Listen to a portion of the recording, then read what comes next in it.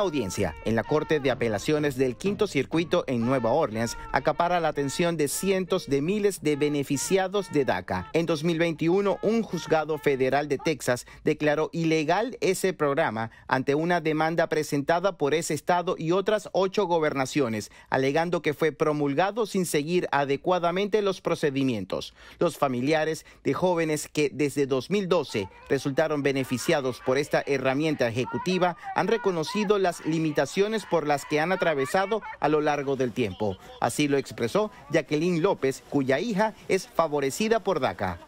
Eh, con este programa DACA ella ha podido hacer posible, ella es profesional, eh, trabaja y estudia, pero necesitamos algo permanente porque muchas cosas no pueden realizarlo porque tienen, eh, no tienen un estatus permanente. DACA es un programa de protección inmigratoria para jóvenes que fueron ingresados sin la debida documentación en Estados Unidos. Entró en vigencia hace 10 años durante la administración del presidente Barack Obama y a lo largo de esta década esa comunidad espera para obtener una decisión definitiva sobre su estatus migratorio. Estos jóvenes, eh, los Dreamers, siguen estando en limbo, en una situación permanente.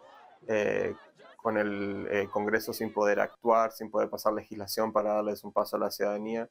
Y es una muy triste situación, imagínate vivir tu vida año tras año tras año sabiendo si te van a sacar el permiso de trabajo, tu licencia de conducir. José Pernalete, Voz de América, Miami.